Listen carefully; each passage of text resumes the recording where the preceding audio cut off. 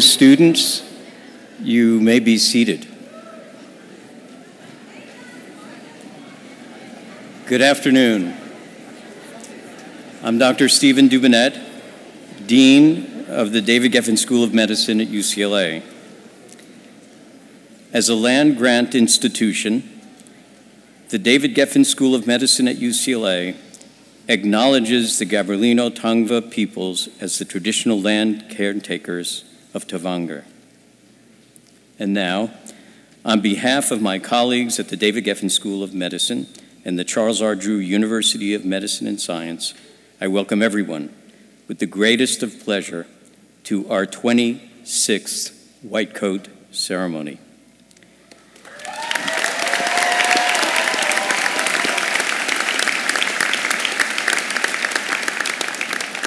Today is a momentous occasion in our students' healthcare journey as we welcome them to the medical profession, and I am very pleased that the families and friends of our students are here to share this very significant event with all of us.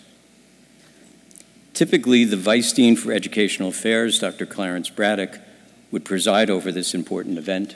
Unfortunately, Dr. Braddock is experiencing some respiratory symptoms and out of abundance of caution will not be joining us today. And I know you join me in wishing him a speedy recovery.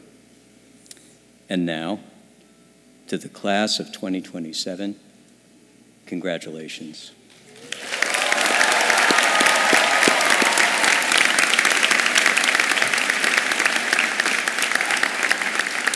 The White Coat ceremony is an important milestone for students entering medical school. In the presence of family, friends, and faculty members, student physicians are welcomed into the medical community and are cloaked with their first white coats, marking their entry into the profession. For the students, the ceremony emphasizes professional expectations and responsibilities, reinforcing the primary, primacy of the doctor patient relationship. Most importantly, it reminds you that as physicians, you should care as well as cure. For the family and friends of our students who are with us today, we hope that this ceremony deepens the special and personal connection you share with all of us at the David Geffen School of Medicine at UCLA.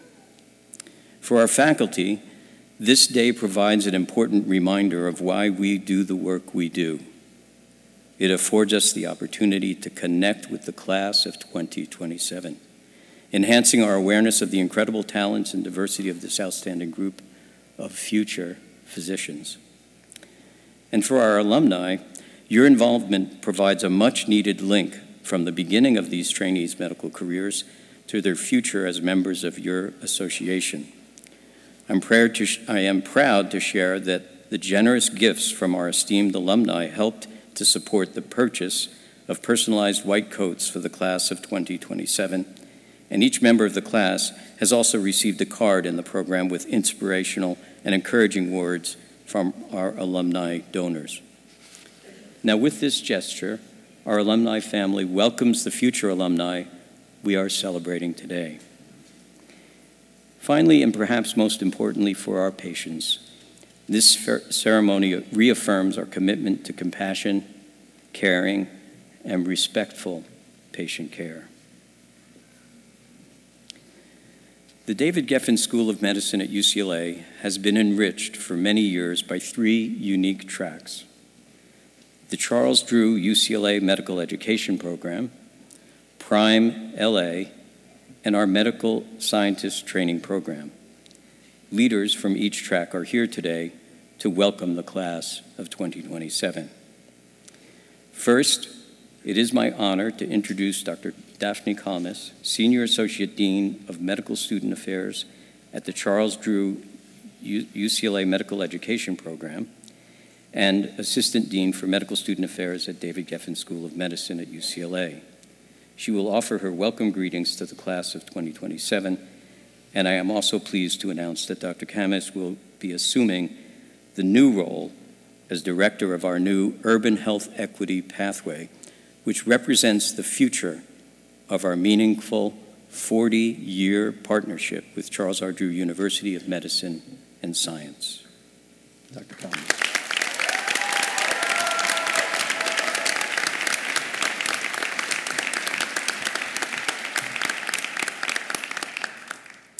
Uh, good afternoon.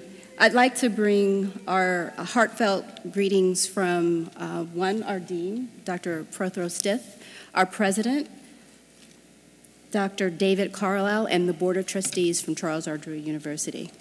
Well, congratulations to the students, families, and friends of the class of 2027 as we come together to celebrate today with all of you at your white coat ceremony. This year, we are celebrating the anniversary of our 42nd CDU UCLA Medical Education Program cohort joining their DGSOM, DGSOM classmates in the class of 2027.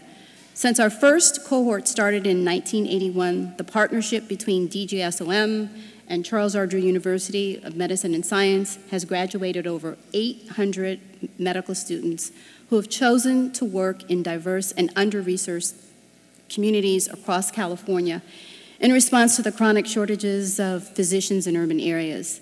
Providing health care to some of our most vulnerable and marginalized populations is now, in many ways, even more challenging than when the first cohort entered in 1981. But the future of medicine and healthcare looks very bright today. We are filled with tremendous hope and joy as we look at the class of 2027. We're looking forward to finding out what your gifts and talents are and what you will share with all of us, uh, the faculty and your future patients. We thank you for all of your hard work you have done and will continue to do. And most of all, we're looking forward to sharing in the next chapter of your medical school journey. Congratulations, uh, very with, just a, a great uh, deal of um, heartfelt gratitude. Congratulations to the class of 2027. Congratulations.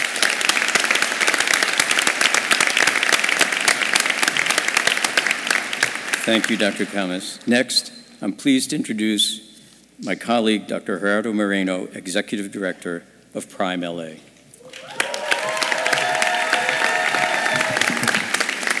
Thank you, Dean Dubinett. Good afternoon. It is both an honor and a privilege for me as Faculty Director of Prime to extend my warmest welcome to our, all of our new medical students and their families and their mentors who helped them get here where they're at. As we gather for this white coat ceremony, we also acknowledge the rich history of our program at UCLA. Every UC medical school has a prime program, and we are extremely proud to support the largest program in the UC system. This year also marks the 16th year of our mission to train leaders, advocates in medicine who will address policy, clinical care, and research with a resolute focus on healthcare for underserved community, communities throughout California. The legacy underscores UCLA's unwavering dedication to improving healthcare access and equity in our great state. So medical students in Prime, so you committed to five years and your selection for this program reflects your passion, dedication, and potential to make a lasting impact in the field of medicine. And for those that aren't familiar with Prime, the students will complete a, their MD degree in addition to a master's degree in five years. Um, so welcome and congratulations, everybody.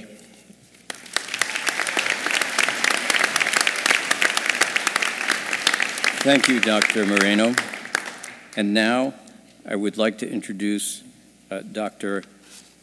Olu Ajijola, co-director of the Medical Scientist Training Program, who will offer his welcoming remarks to the MD PhD class of 2031.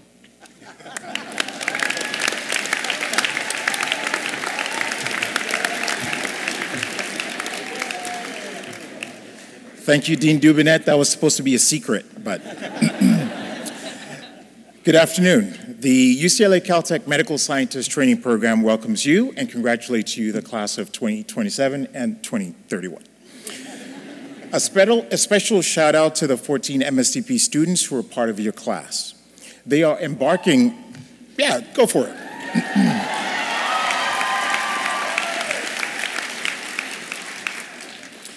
They are embarking on the journey of joint doctoral degree training. And while this means that you will be here a few additional years, I promise you it will go by very quickly, and it's worth the effort. You will be engaging in impactful scholarship, making meaningful discoveries, and gathering lifelong friends and mentors along the way. You are the 40th class to join the UCLA Caltech MSTP. That's huge.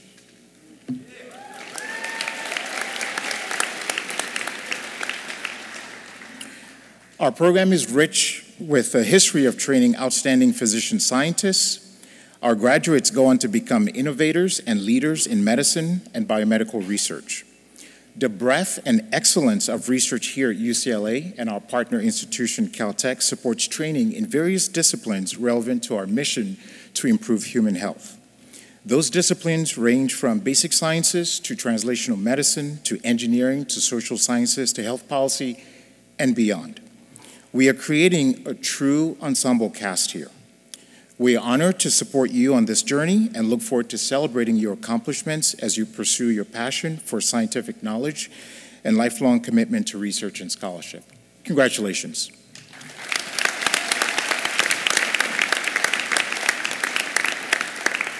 Thank you, Dr. Ajijola. Because the white coat ceremony emphasizes our focus on professionalism, compassion, empathy, and caring, each year we choose this venue to announce and recognize the recipient of the Tow Humanism in Medicine Award. The Leonard Tow Humanism in Medicine Award is presented by the Arnold P. Gold Foundation, a national organization dedicated to ensuring that compassion, respect, and empathy are at the core of all healthcare interactions. This award recognizes and honors faculty members who are exemplary in their compassion and sensitivity in the delivery of care to patients and their family members, as well as their respect for their colleagues. The recipient is nominated and selected by faculty peers. I want to recognize and thank the Tow Award Selection Committee members for their outstanding work reviewing numerous dossiers submitted for consideration. The faculty members serving on the committee were Drs. Stephen Cannon, Jody Friedman, Elsa Garraway, Judith Gasson, Arthur Gomez, and Jennifer Lucero. The 2023 recipient of the Leonard Tow Humanism in Medicine Award is Dr. Jane Yanagawa.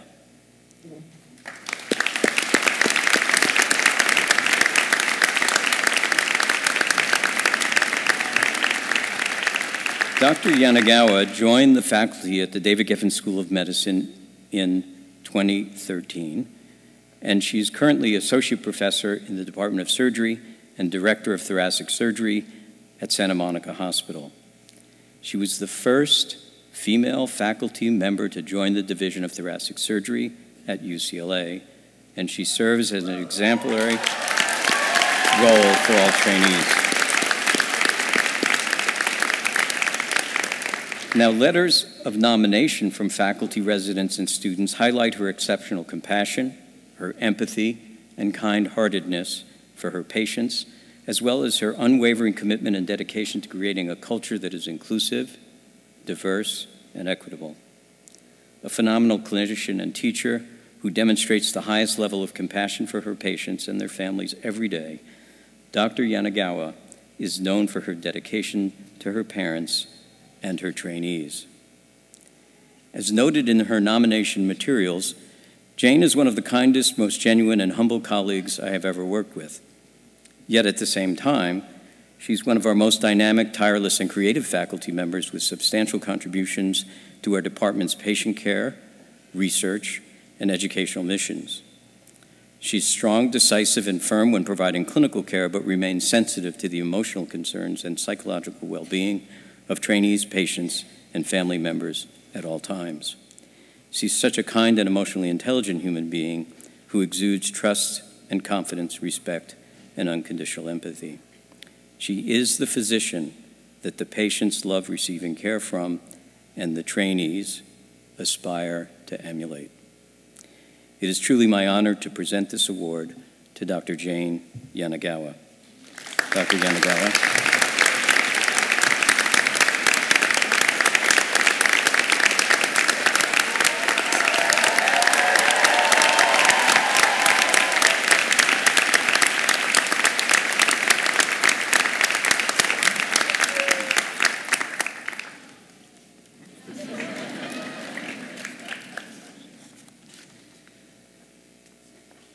Their certificate reads the 2023 Leonard Tow Humanism in Medicine David Geffen School of Medicine at UCLA is presented to Jane Yanagawa for exemplary compassion, empathy, and respect for patients and for excellence in the art of medicine. Congratulations, Dr.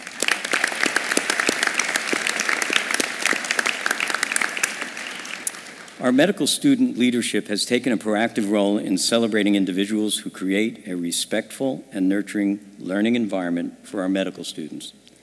Nine years ago, they created an award for residents, the Excellence in Teaching with Humanism Residents and Fellows Award. Dozens of nominations were received this year, from which 20 residents were selected to receive the award.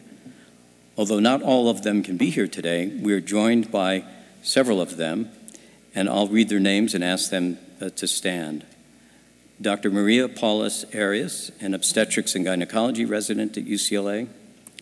Dr. William Duong, a vascular surgery resident. Dr. Maria Gonzalez, a family medicine resident at Harbor UCLA. Dr. Michael Medeiros, uh, now a chief resident in surgery at UCLA. Dr. Tara Towns, now a chief resident in internal medicine at UCLA. Dr. Walter Solorzano, an in internal medicine resident at UCLA. Congratulations. Thank you. You may be seated. There, are other recipients listed in your program. Um, we're pleased that we can congratulate these role model uh, fellows and residents now moving on in their careers. Um, thank you very much. Now, in planning the white coat ceremony, we select our keynote speaker from nationally esteemed faculty members who have been recognized for excellence in teaching, patient care, and service to the community. No one could be more deserving of this honor than this year's recipient of the Sherman Mellinkoff Award, which is the most prestigious faculty honor bestowed at the David Geffen School of Medicine, Dr. Art Gomez.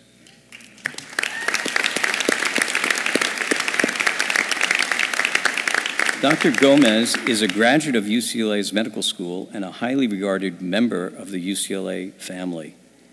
Dr. Gomez has been a professor of clinical medicine at UCLA for over 30 years, and he has devoted his life to teaching humanism and the art and practice of medicine. During his exceptional career at UCLA, he designed a curriculum intended to inspire excellence in communication, medical practice, understanding of diversity, and the patient's perspective. Dr. Gomez also served as the chair for the UCLA Ambulatory Internal Medicine Clerkship for over 20 years, and he was a beloved attending at the Veterans Affairs Medical Center.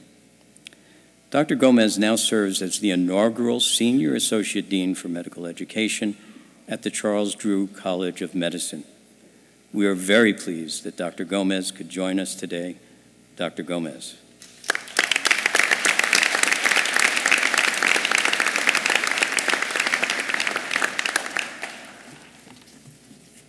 Thank you, Dr. Dubinett, for that kind introduction.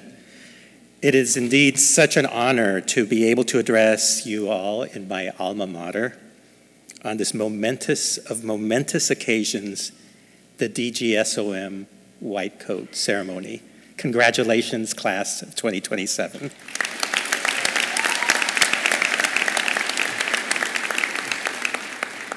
Now, I would be remiss in not taking a few moments to first dedicate this conversation to a dear friend of mine who died just a few weeks ago. I would encourage you all, if you can, to take out your phones and Google Wendy R. Brewster, MD, PhD, DGOSOM class of 1991. Wendy R. Brewster was not only a dear friend of mine and my wife, godmother to our children and bridesmaid at our wedding, but her example, her life, her passion for our noble profession in the field of gynecology, oncology, embodied all that we're celebrating here today. As you will read if you Google her life, she was an accomplished scientist and researcher, devoted clinician, dedicating her life to the care of diverse patients assigned female at birth during their most trying situations facing cancer. With care, emphasizing equity and attention to the underserved and underinsured, helping them and their families navigate the unthinkable with grace and empathy. Her devotion to her parents was admirable. However, more so was her dedication to her many trainees over the years, as evidenced by the many accolades you will read on what's written in the internet. Expressed at her passing, and the generous endowment she bestowed to trainees at University of North Carolina. But she was not a softy by all means. As a trainee under her watch, although everyone invariably appreciative, you knew you had to be on your toes, fully engaged, on time, and on task. She would have it no other way. Turning to what be, what's most relevant to you all sitting here on your journey entering life here at UCLA is a testament to the type of relationships Wendy fostered during her time at DGSOM. She carefully nurtured her friendships as students graduated and went on to their separate paths through, across the U.S. But the strength of those bonds were so clear when summoned to her bedside on her final days were my wife Luz, Luba, Diane, Jenny, and Yvette, fellow classmates, DGOSOM, class of 1991. Literally completing the circle of lifelong friendships. May you be so lucky as they were to build such bonds in your time here. So thank you, Wendy R. Brewster, MD, PhD, we celebrate a white coat well worn.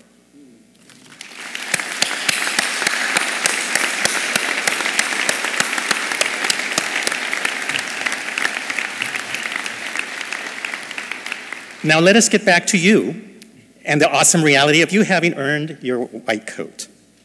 I bid you congratulations again with a mixture of be careful what you wished for let me explain. This coat of stiff material comes with a lot of power. And to quote an erudite source, a Spider Man movie, with great power comes great responsibility.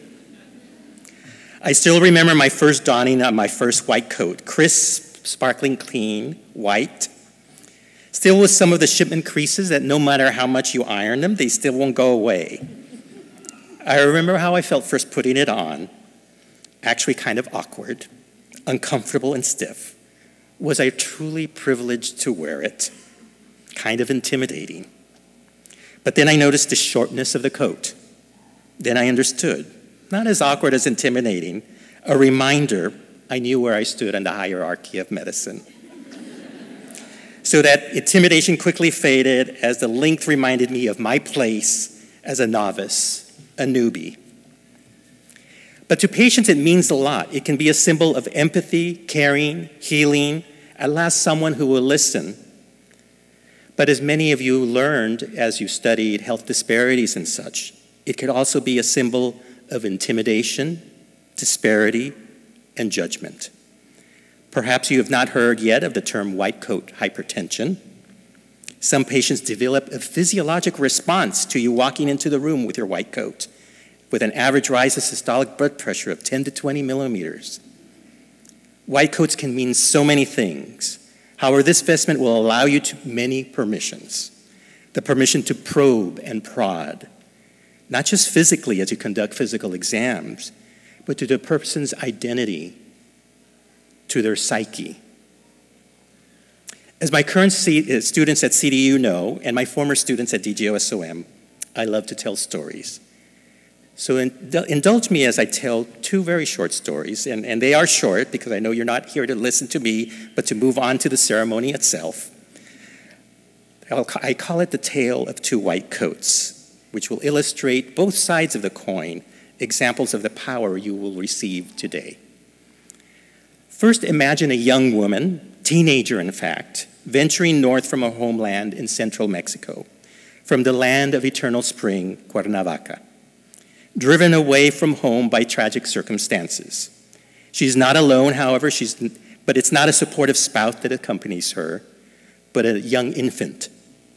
She's escaping an abusive spouse the single mom makes her way north with dreams of self support and independence. She's a marvelous cook and dreams of one day opening a restaurant in that fabled land of Los Angeles. After untold hardship, hunger, and unspeakable obstacles, she makes it. At first, she settles for a job in famed Beverly Hills, raising not her own child, but the children of the privileged, the wealthy. Her baby boy, she lives with a trusted friend.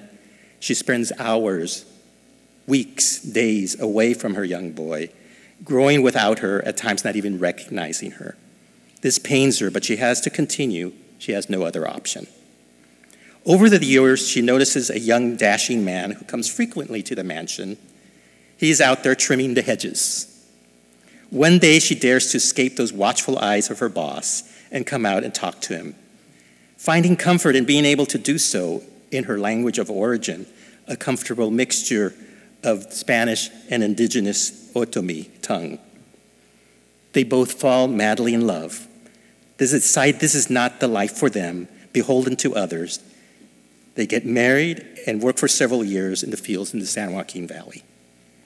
The couple has another boy of their own and in the process put together enough cash to start that restaurant of her dreams, the American dream realized with the opening of, the, of Huachinango in the Florence area of South Los Angeles.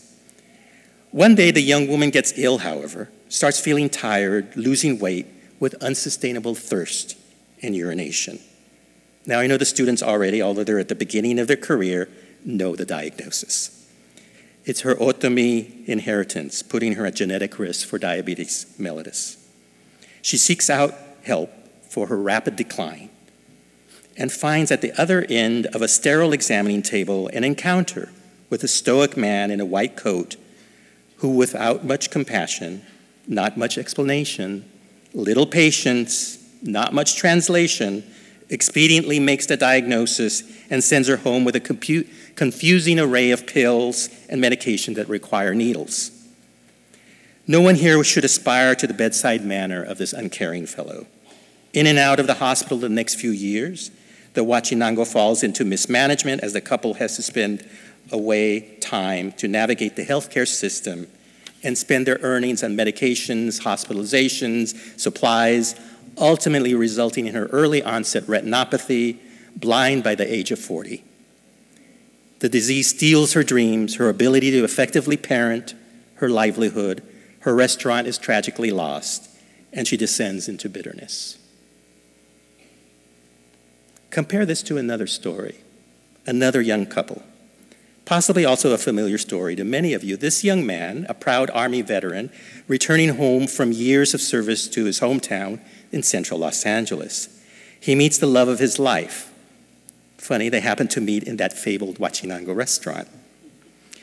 Through the GI Bill, he takes classes at LA Trade Tech, gets a great job as a welder for a large military munitions company. They marry, have several children. He gets promoted to lead, earning him a handsome salary that affords them to buy a home. He and his young wife have a heated discussion where to buy. Both were raised in Latino urban communities and are now torn between raising their children in those familiar roots or doing what is popular among their friends escape to white suburbia. They decide to leave to a corner house with a yard and dogs, but a commute of 60 miles for the man. Leaving for work before 5, arriving home after dark, often when the children are already put to bed. One day, the young man returns to a distraught wife in tears. Our boy is depressed, she says, and doesn't want to go to school. On the school bus, several of the children have started bullying the young boy with racial epithets that are nasty and with relentless zeal. Children don't pick their words on their own, but learn through observation, probably from racist parents. What to do, the couple decided to go to their confidant, which turns out a very different man in a very different white coat.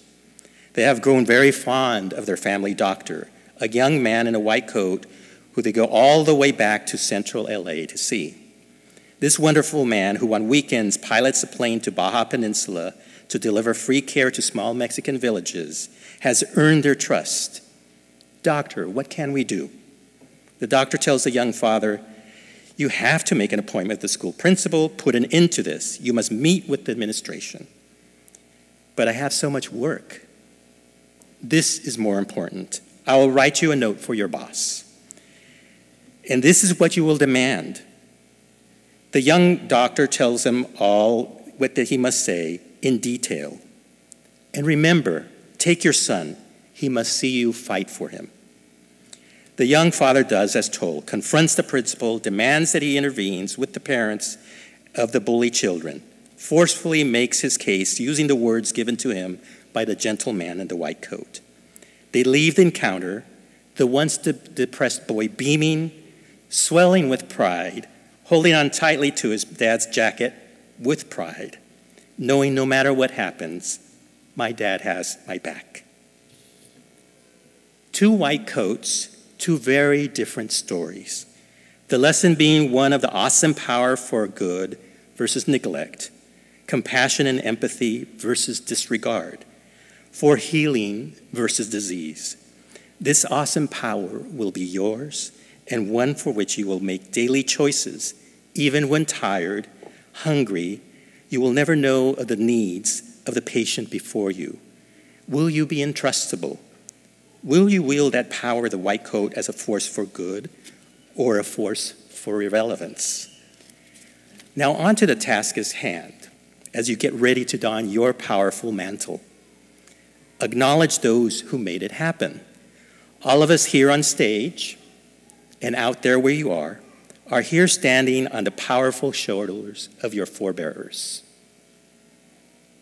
Those who sacrificed for you to succeed, family, friends, and mentors. I here stand on the shoulders of my forebearers. As you may have guessed, the first young couple in the story were my grandparents. The second young couple, my parents. I was the little boy the young doctor, Dr. Renshaw, who eventually died in a plane crash at a young age over the skies of Baja California. So we stand on the shoulders of great people who have sacrificed, set out pathways before us, nurtured us, and supported us. The support you will all need to follow in the footsteps of a great alumnus like Dr. Wendy R. Brewster or the young Dr. Renshaw in my second tale, and hopefully never the example of the first doctor whose name has been forgotten. I want to thank you for indulging me with these two stories of the two white coats. Congratulations on this momentous day. And please think twice when deciding on whether to wear fig scrubs with a Patagonia fleece jacket over that most powerful short white coat. Thank you.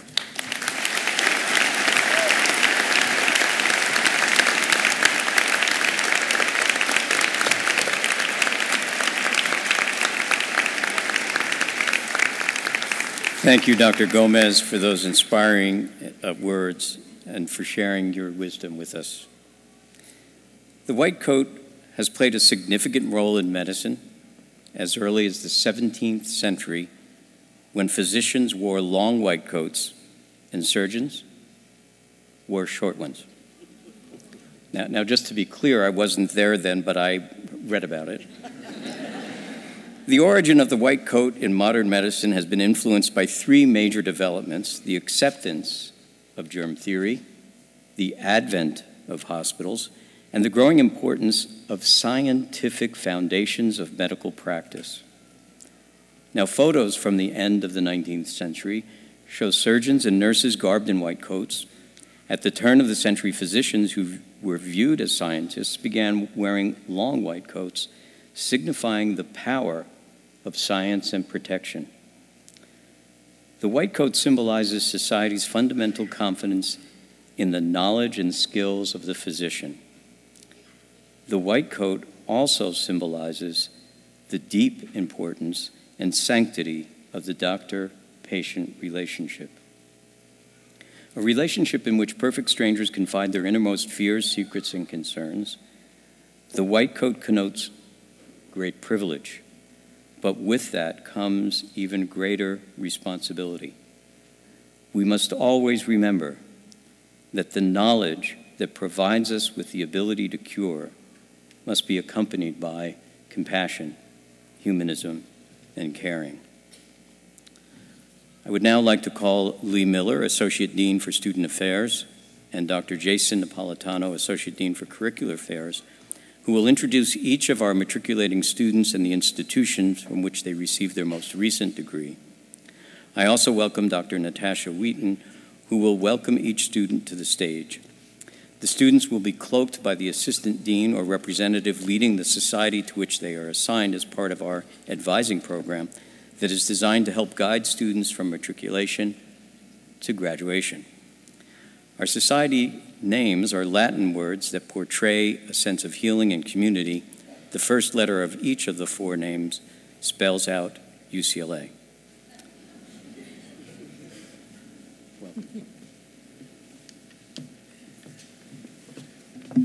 All right, are you folks ready?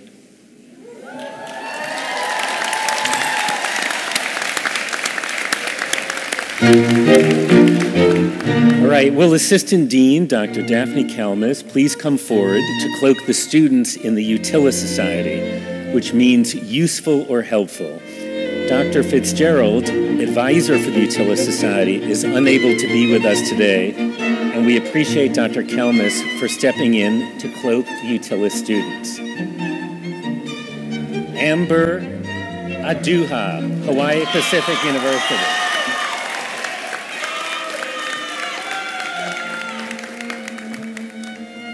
Annika Anderson, University of California, Berkeley.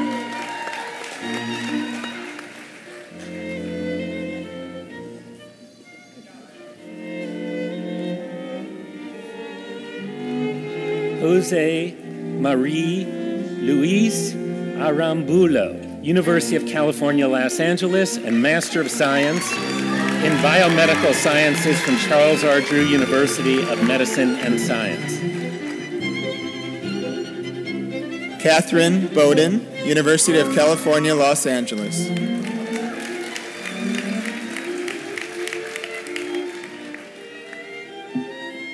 Vincent Chang, Dartmouth College.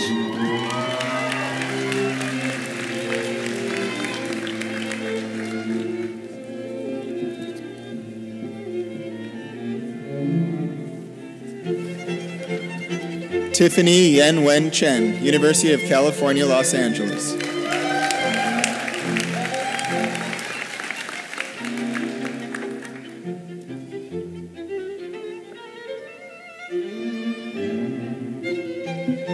Ryan Clark, University of California, Santa Barbara.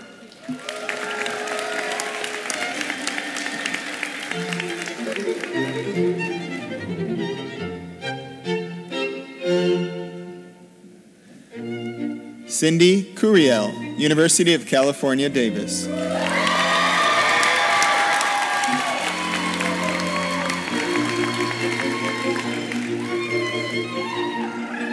Lucia Diaz, Scripps College.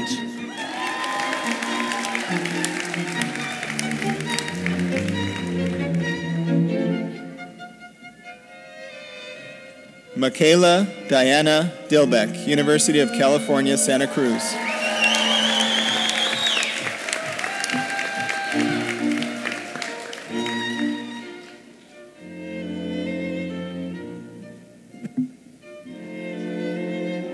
Alexander Fish, Princeton University.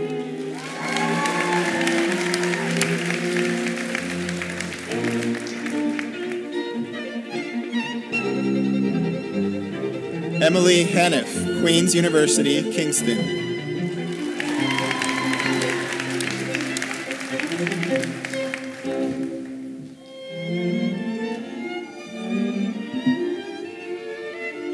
George Heredia Jr., University of California, Irvine.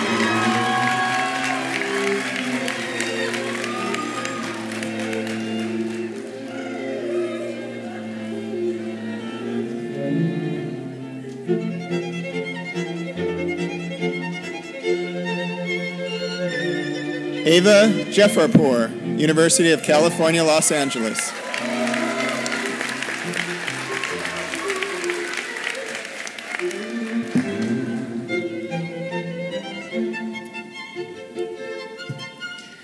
Jeannie Jung, Barnard College.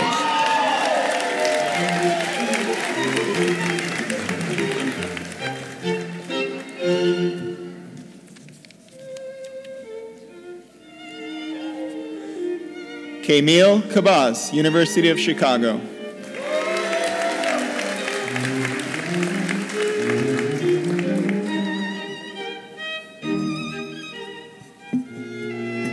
Daniel T. Kim, Princeton University.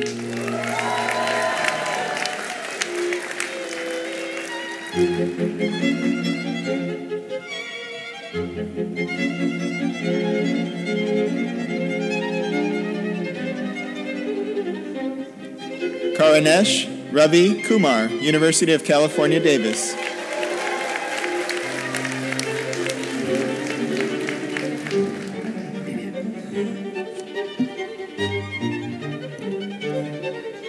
Miranda Lay, University of California, Los Angeles.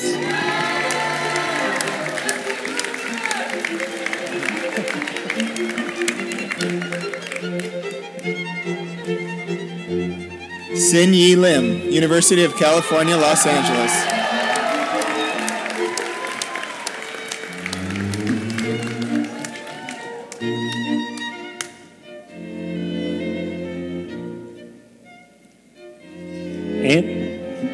Andrew Margolis, Johns Hopkins University.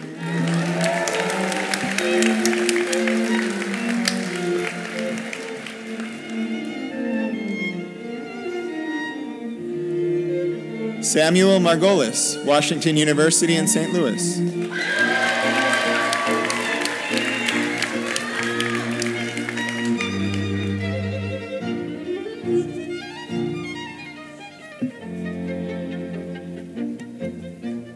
Cottrell Maynard, Brown University.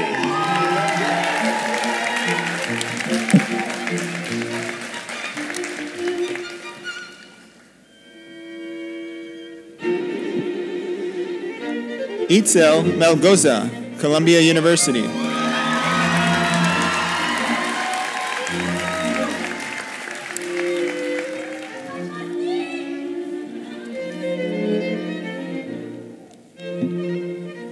Lavender Mikalo, Roanoke College.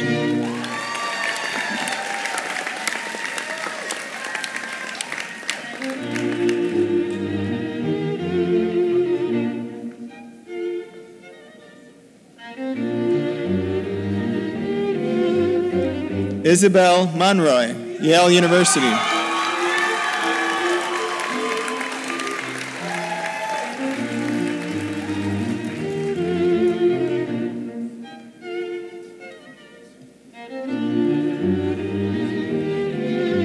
Michaela Murray, Howard University.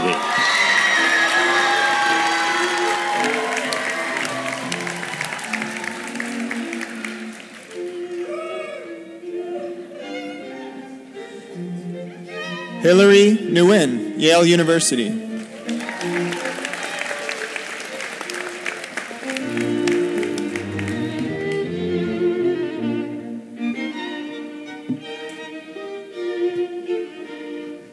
Courtney Obasohon, University of California, Los Angeles.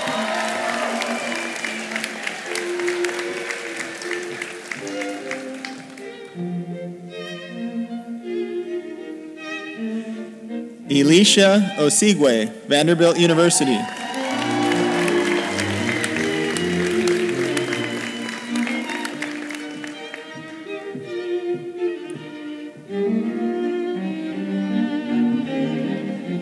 Juliana Perini Villanueva, Tufts University, and Masters of Public Health from the Tufts University School of Medicine, Public Health, and Professional Degree Programs.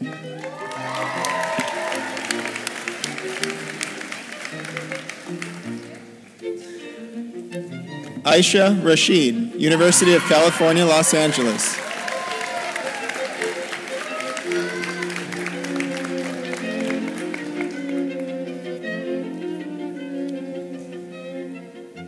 Jessica Roth, Ohio University.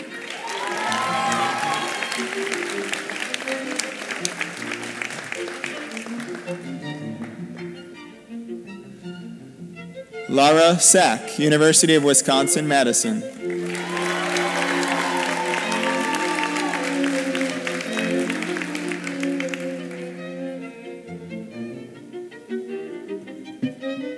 Laura Solano, University of California, Los Angeles.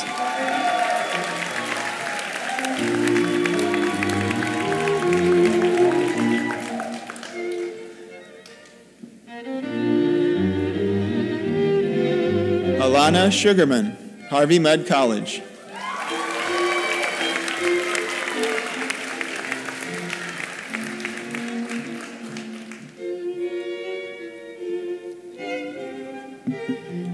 Hillary Tang, University of California, Berkeley.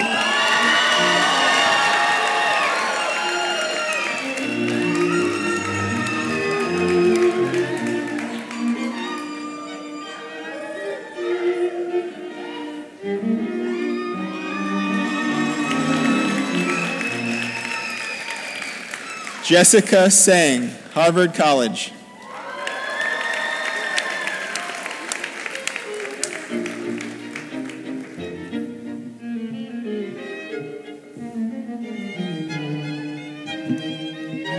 Amy Villanueva, University of California, Berkeley.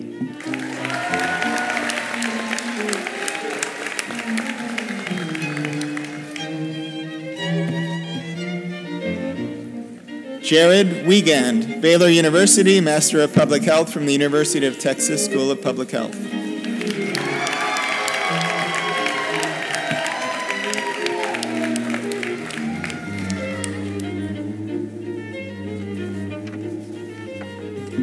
Amy Yang, Northwestern University.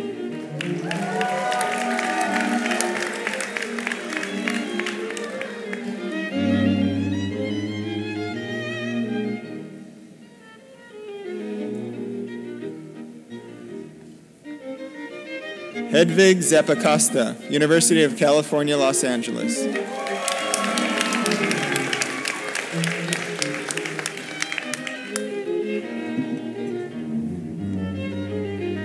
Dustin Swibel, University of Colorado, Boulder.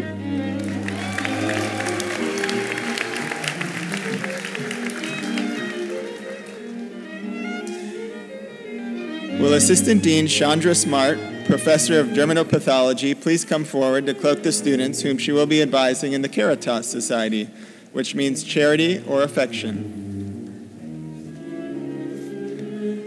Casey Abernathy, Temple University.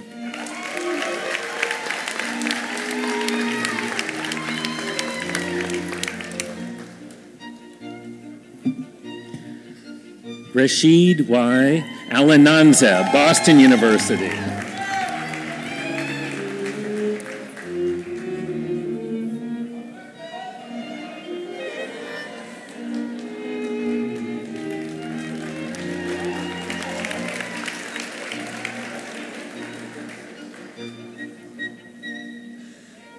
Anthony Allen Alvarado, University of Rochester.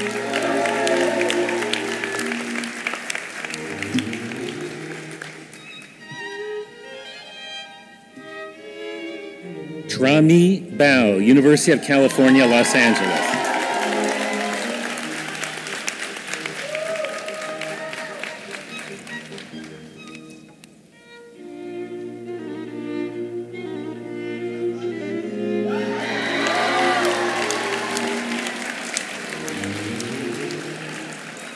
Rebecca Joyce Canfield, University of California, Davis, Master of Arts, Education, National University.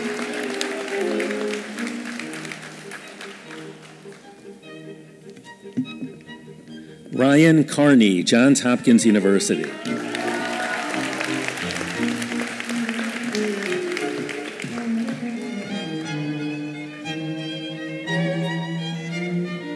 Vincent Cavallino, Stony Brook University.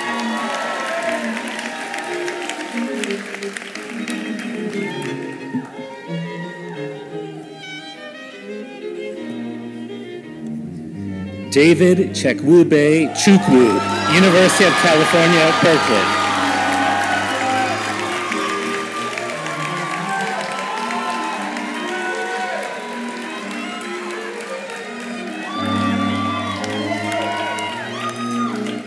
Diego Cisneros, University of Wisconsin-Madison.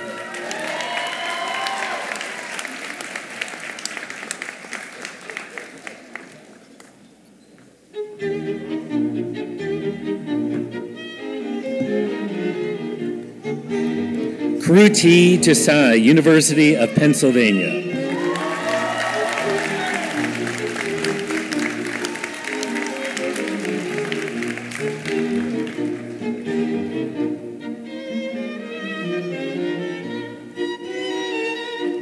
Ahmed El-Ari, University of California, Los Angeles.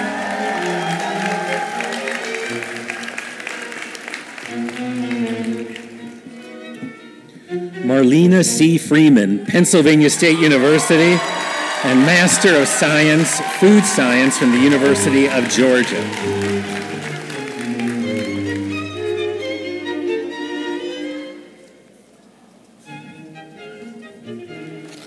Jason Guo, University of North Carolina at Chapel Hill.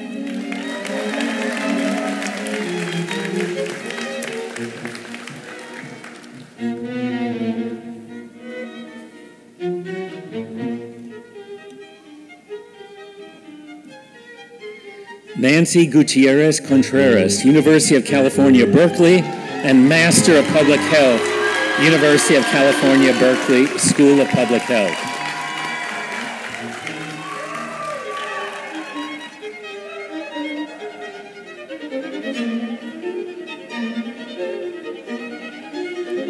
Ryan Wanhee Han, Stanford University, Master of Science, Biomedical Informatics, Stanford University.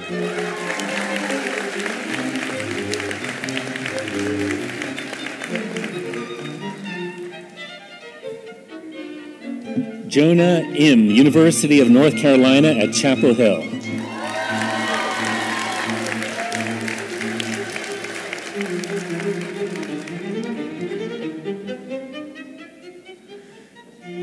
Dorian Wajiro Karaoke, University of California, Davis.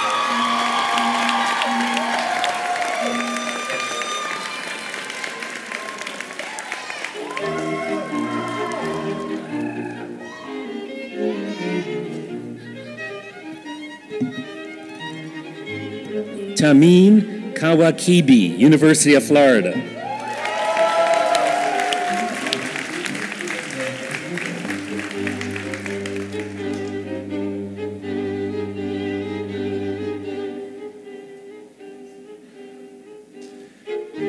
Iman Kaza, University of California, Berkeley.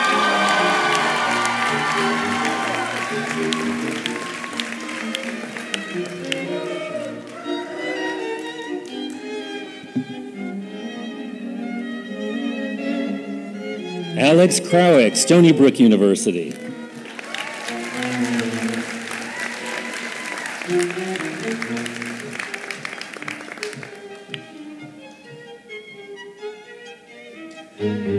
Jacqueline Larios, University of California, Los Angeles.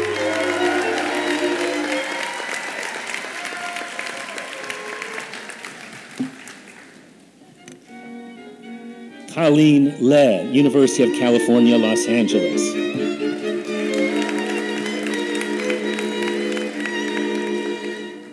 Ethan Libros, Pennsylvania State University.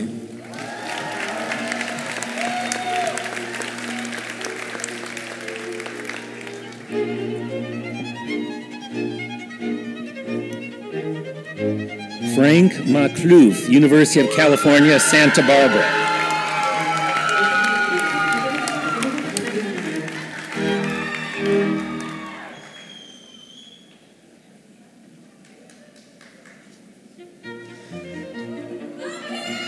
Arzu Manandur, University of California, Santa Barbara.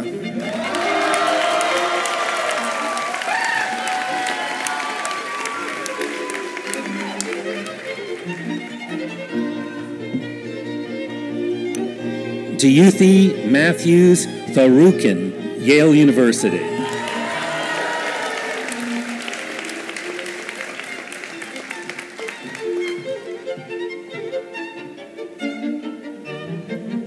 Jessica Menjivar Cruz, New Jersey City University.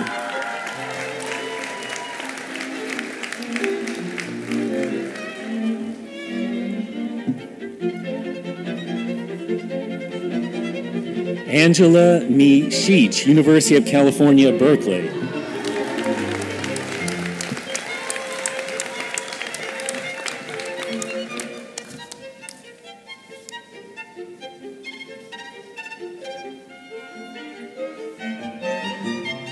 Andre Nagib Girgis, University of Central Florida.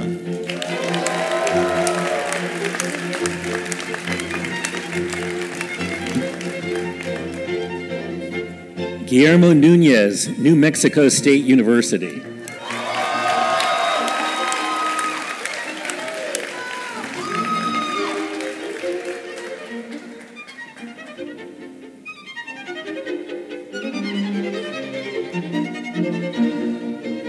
Yagana Parwak, University of California, Berkeley. Master of Science, Global Health, University of California, San Francisco.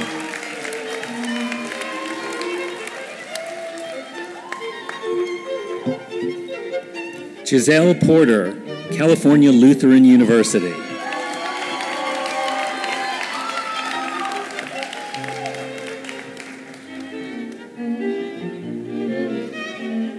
Sabrina Rainsbury, Johns Hopkins University.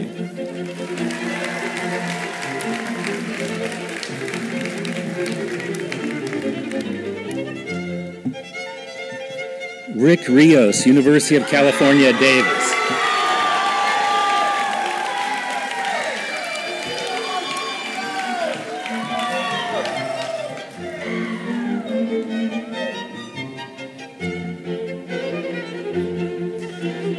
Christopher Abraham Rodriguez Medina, Stanford University, Master of Science, Community Health, Stanford University School of Medicine.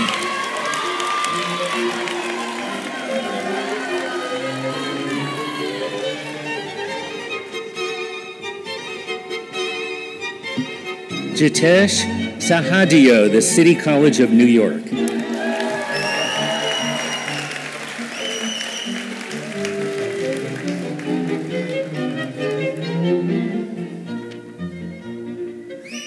Pedram Shafi Jahani, University of California, Santa Barbara, Master of Science, Molecular Microbiology and Immunology, Keck School of Medicine of USC.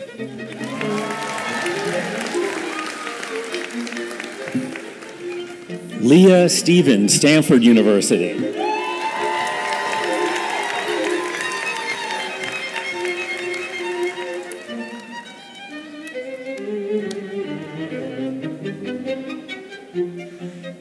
Jasmine Tron, Northwestern University.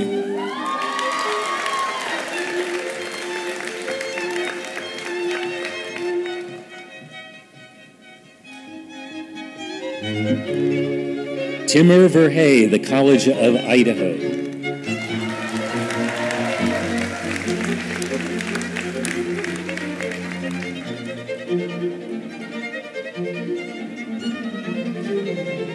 Jack White, Duke University.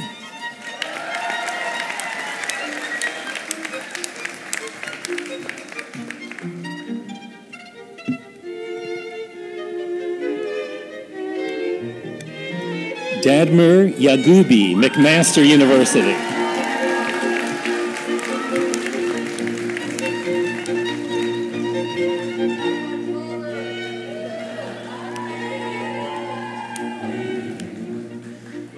Justin Yoon, Washington University in St. Louis.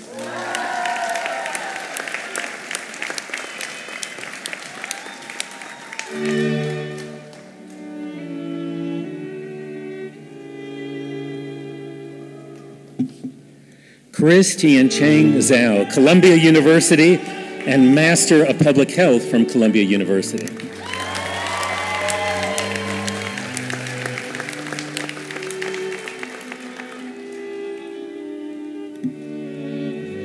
Like to call upon Assistant Dean Deborah Lehman, Professor of Pediatrics, to cloak the students whom she will be advising in the Levamentum Society, which means relief and comfort. Jibril Abdul Qadir, University of California, Santa Barbara.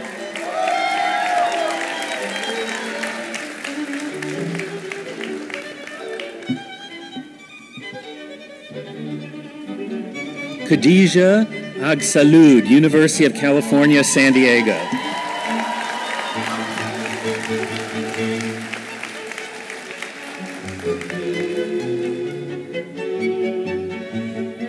Victor Arachiga, Williams College.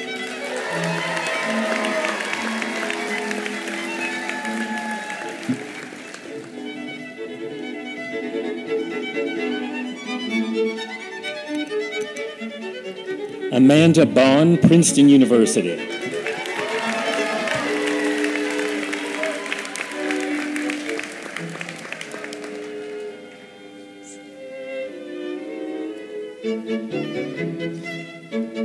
Akiev Burrows, Lehigh University.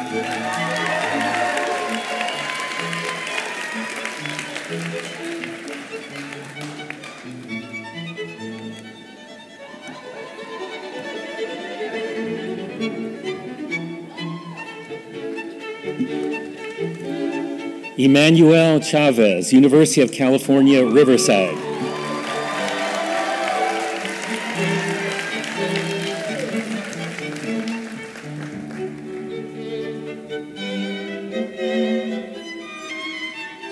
Chen Chen, Duke University, Master of Science in Global Affairs from Schwarzman College, Tsinghua University.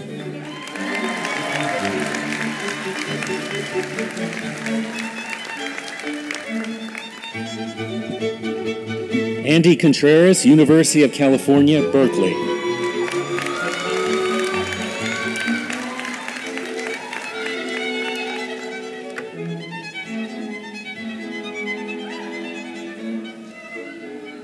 Danny Dwan, University of California, Los Angeles, Master of Public Health, Columbia University.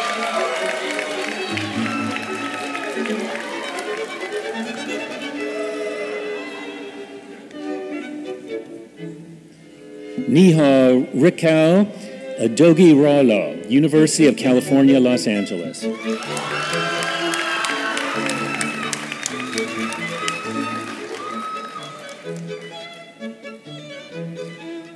Samuel Kwame Safu Edwards, Vanderbilt University, Master of Arts, Medicine, Health, and Society, Vanderbilt University.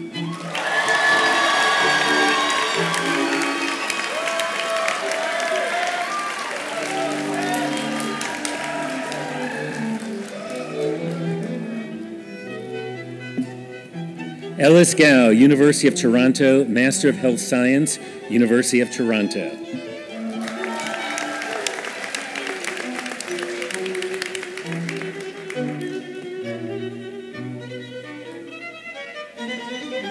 Mahidra Amariam Gasese, California Institute of Technology.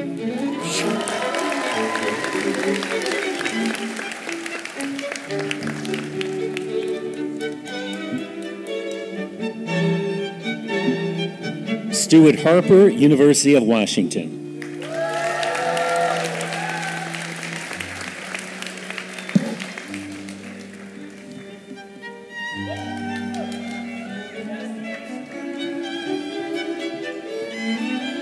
Daisy Hernandez Casas, University of California, Los Angeles.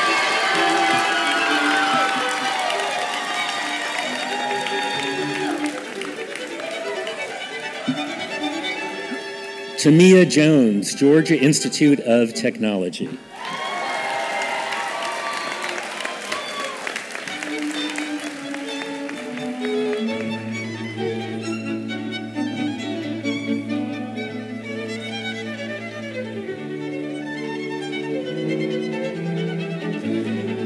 Layla Khorasani, University of California, Los Angeles.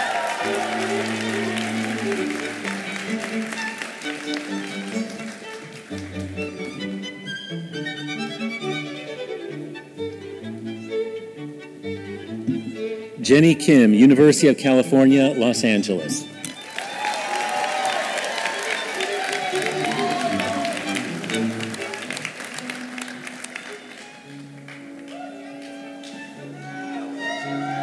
Jagruthi Kola, University of California, Santa Barbara, Master of Science, Public Health, Johns Hopkins University.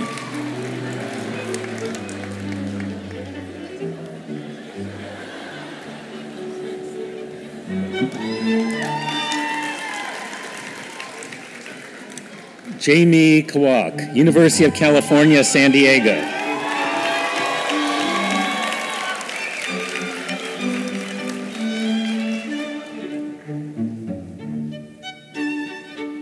Trixie Lay, University of California, Los Angeles.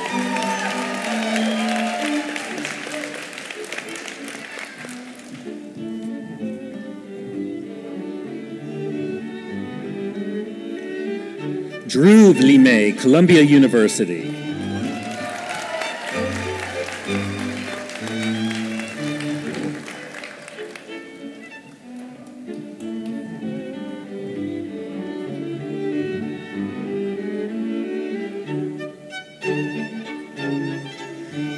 Sione Markarian, University of California, Berkeley.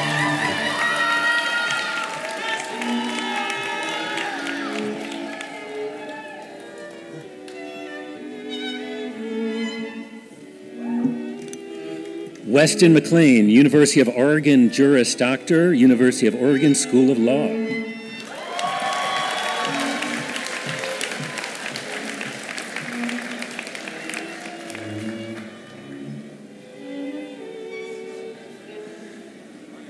Lorenzo Miller, University of Wisconsin,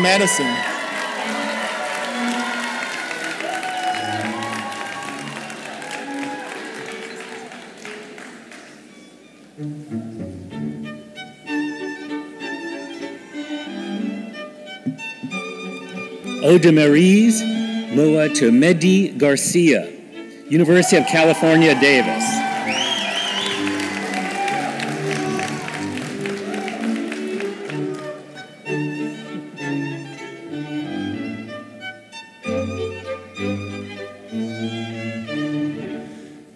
Ronnie Moon, Columbia University.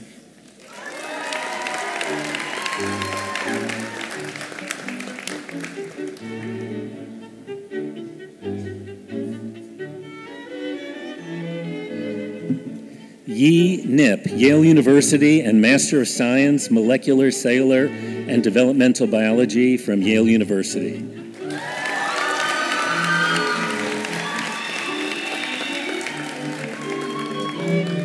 Mariam Nurul Huda, Stanford University.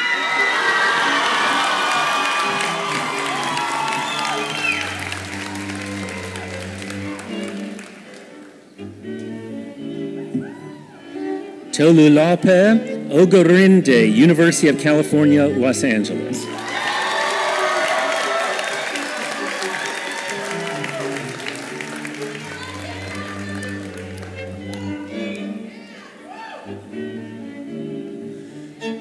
Hazy Nanorma Hokoro, Concordia University.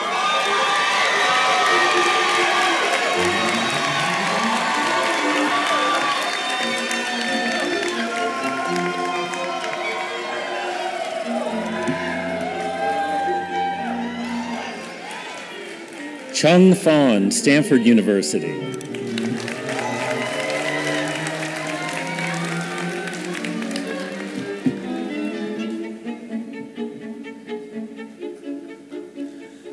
Aaron Riley, Cal Poly San Luis Obispo, Master of Public Health, San Diego State University.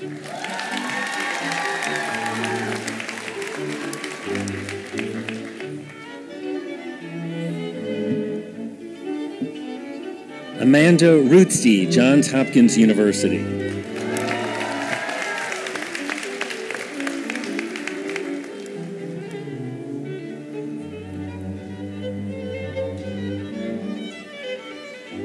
Danae Sanders, Howard University.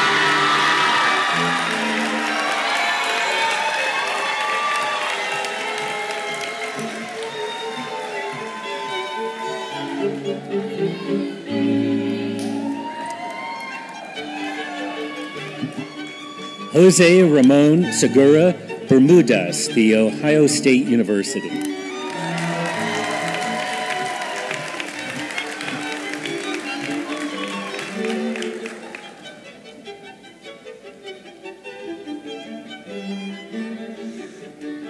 Allison Dutton Song, Yale University.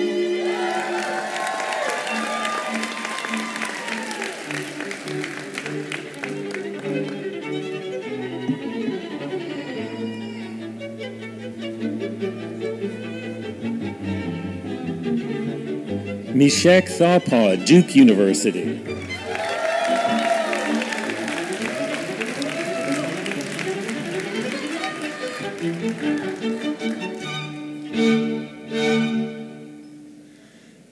Olga Svetkova, University of Washington.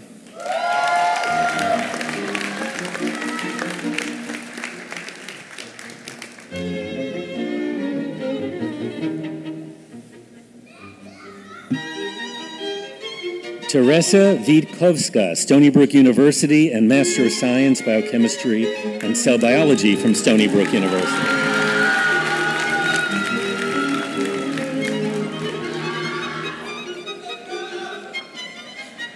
Margaret Williams, Yale University, Master of Philosophy, History, and Philosophy of Science and Medicine, University of Cambridge.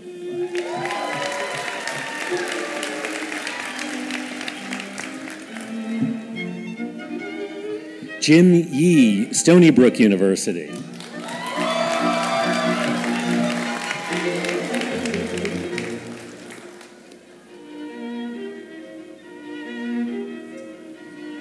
Kier Zhang, University of Florida.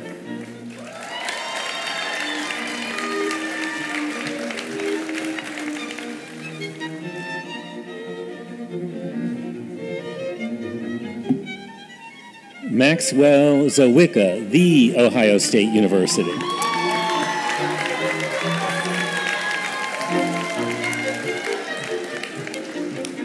Finally, I call upon Assistant Dean for Clinical Education, Dr. Edward Ha, to come forward to cloak the students in the Accendo Society, which means illuminate.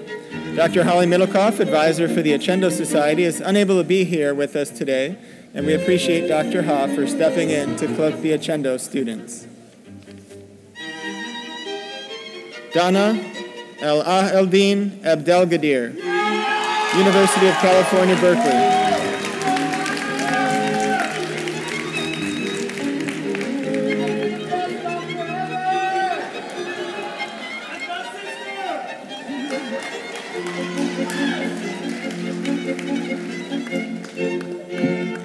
Naomi E.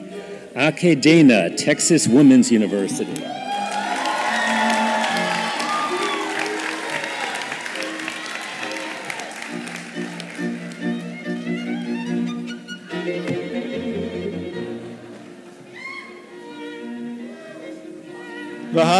Algion, University of California, Los Angeles, Master of Science, Biomedical Sciences, Charles Hall Drew University of Medicine and Science.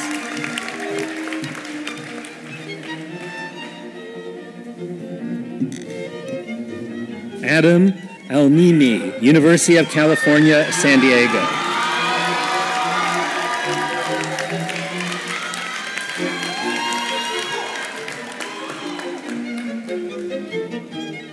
Urania G. Argueta, University of California, Berkeley.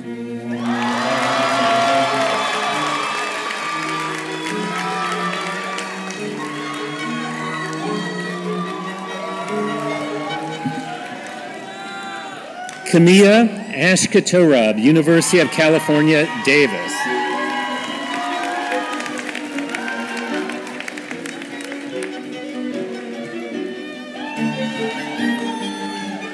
Fatumata Berry, Spelman College.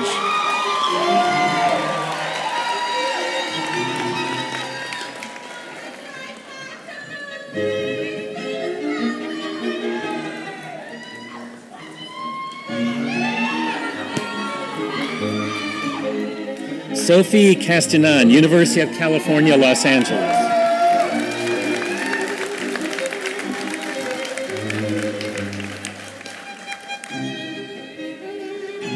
Jose Miguel Chevalier, University of California, Los Angeles.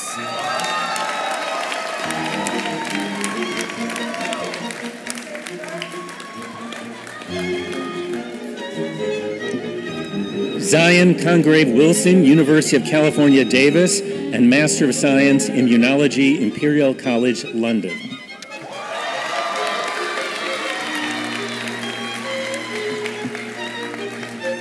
Ria Devar, University of Pennsylvania.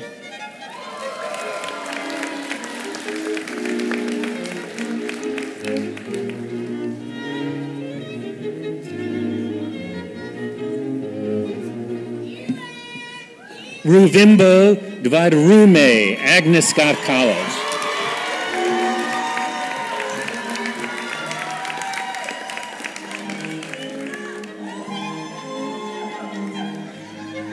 Jessica Ikigwa Maximiliano, University of California, Los Angeles.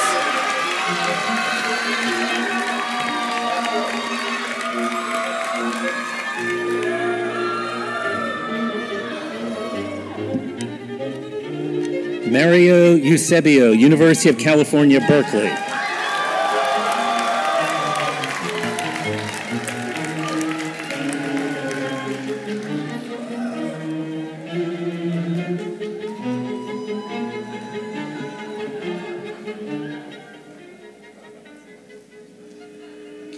Elijah Graves, University of Nevada, Las Vegas.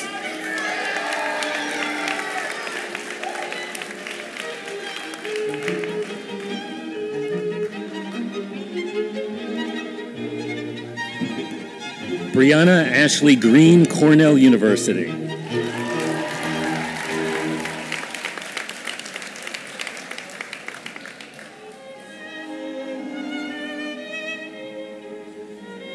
Sarah Hinton, University of California, Los Angeles.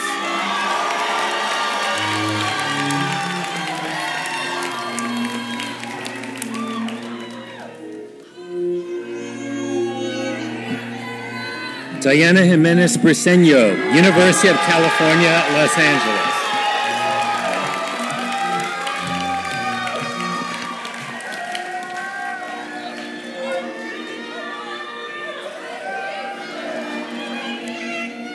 Herlin Dumore, the College of St. Rose.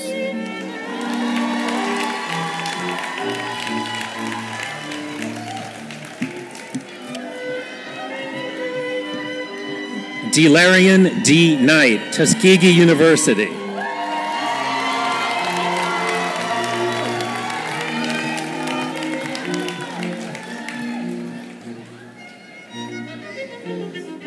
Ariana Konstantopoulos, Johns Hopkins University.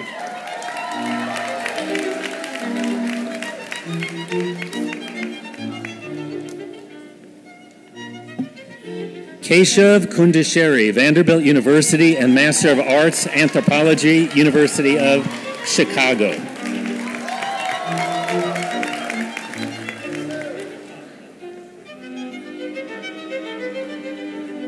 Jonathan LeSure, the George Washington University.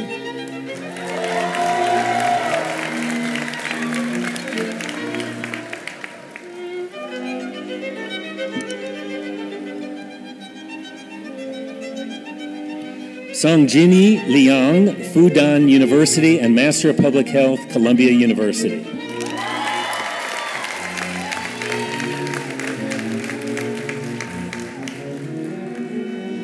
Simon Liu, Johns Hopkins University.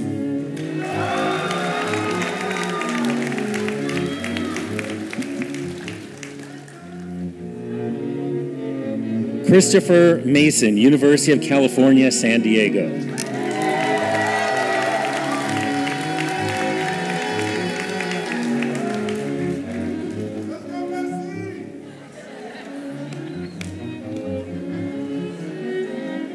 Stephanie McKay, University of Notre Dame, Master of Public Health, George Washington University.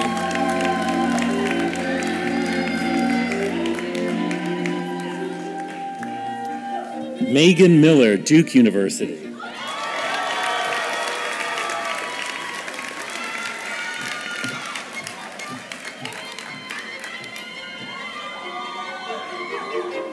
Kamij Machofo Simo, University of Washington.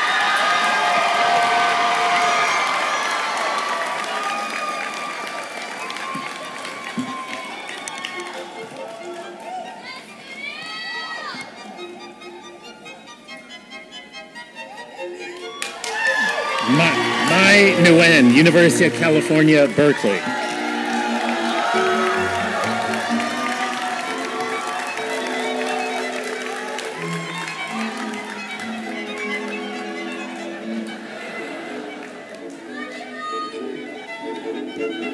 Derek Okine, Grinnell College.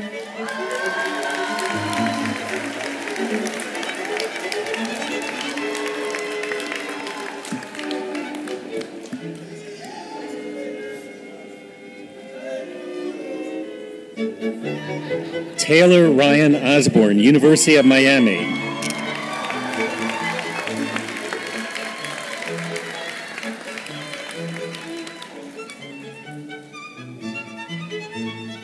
Liliana Perez, University of California, Los Angeles.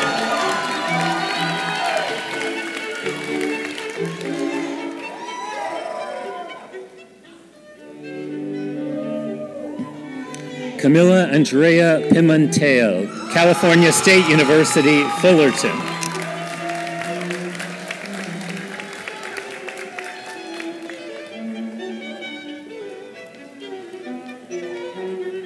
Abigail Reeder, San Diego State University.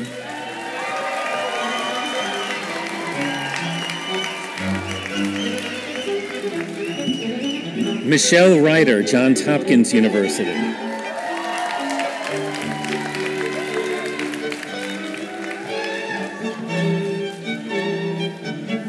Joyce Suh, University of Southern California, Master of Arts, Occupational Therapy, University of Southern California.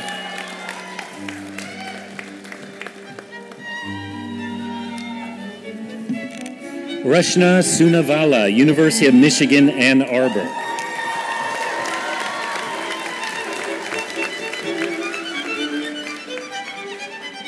Maria Tercero Paz, California State University, Northridge.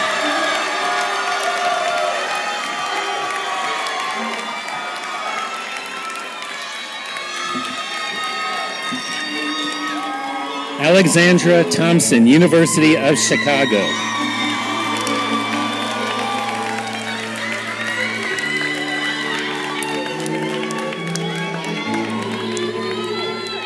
Anissa Farah, Stanford University.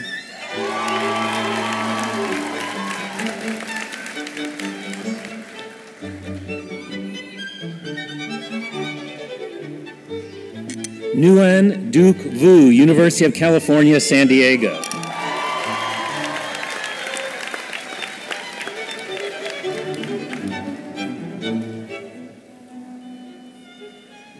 Joy Shu, McMaster University.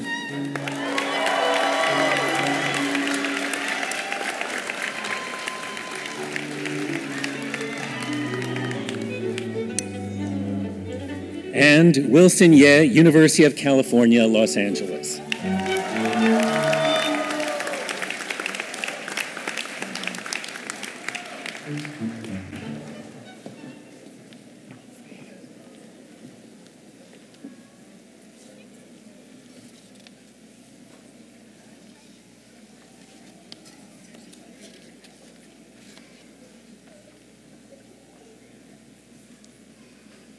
Congratulations, students, on your first step toward becoming a physician.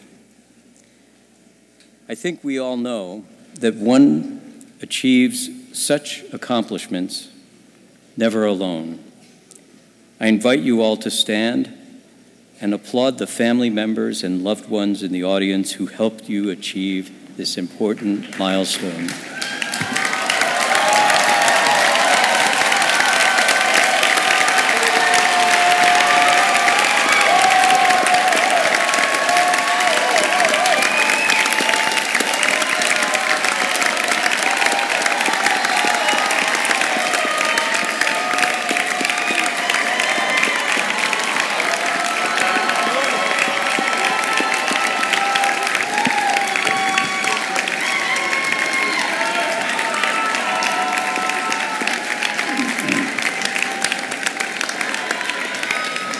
Congratulations.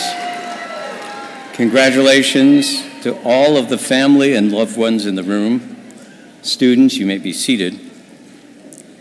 I would now like to introduce Dr. Natasha Wheaton, Assistant Dean for Curricular Affairs, Associate Clinical Professor of Emergency Medicine, and Faculty Director for Basecamp.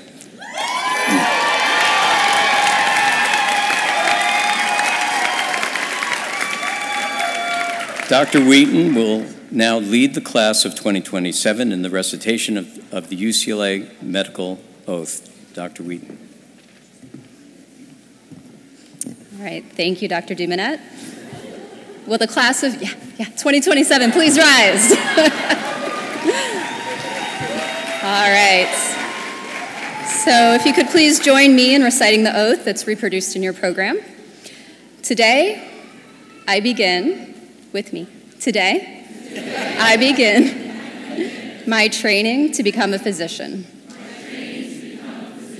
A noble profession dedicated to the preservation of life and prevention of human suffering. From this day forward, I will be different.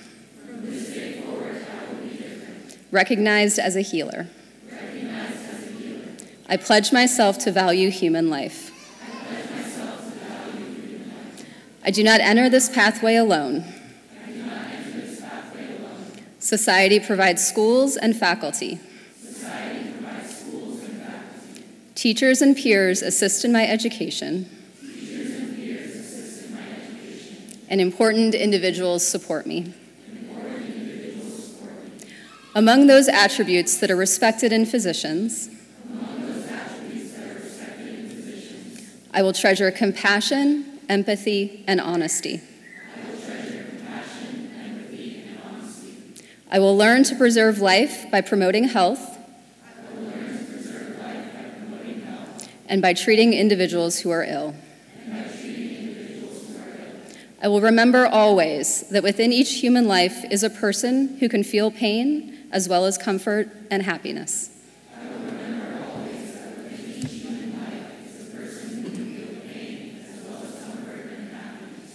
I will treat my patient not only as an individual, but also as a member of a family and society.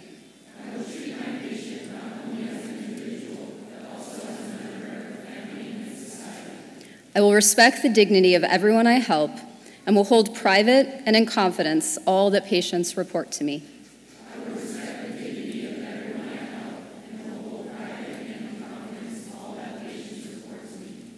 I will be honest with patients and their families, with teachers and peers, and will never, never tolerate deception or fraud.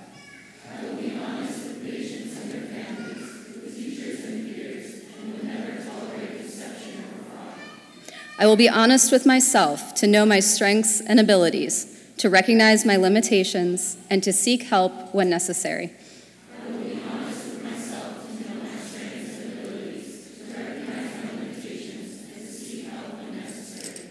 I will believe in myself, for it is that foundation that allows me to believe in others.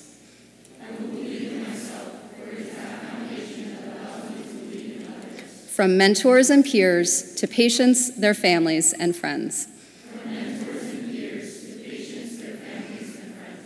I will always strive to do my best and work continually to improve my knowledge, abilities, and understanding.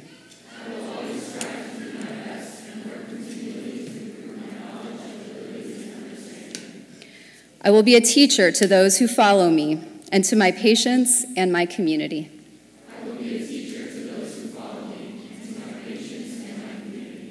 My relationship with patients and colleagues will not be affected by race, religion, nationality, financial or social status, or sexual orientation.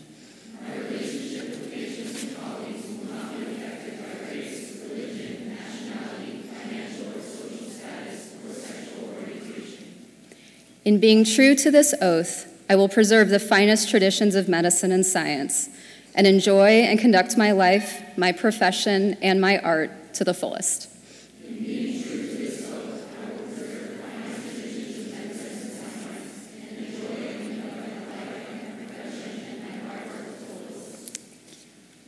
Students, please be seated.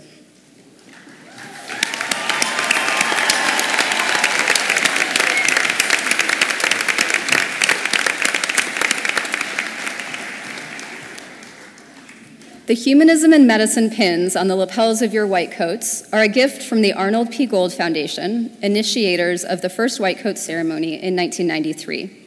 The gold Mobius loop on the pin symbolizes the continuous bond of trust, respect, and communication that connects healthcare professionals with their patients when humanism is at the core of medical practice. We hope that this pin will serve as a reminder of your oath to keep healthcare human. Congratulations, class of 2027.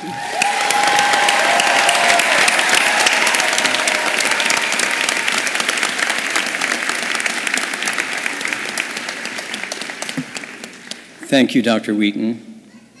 And class of 2027, you're off to a great start. Congratulations.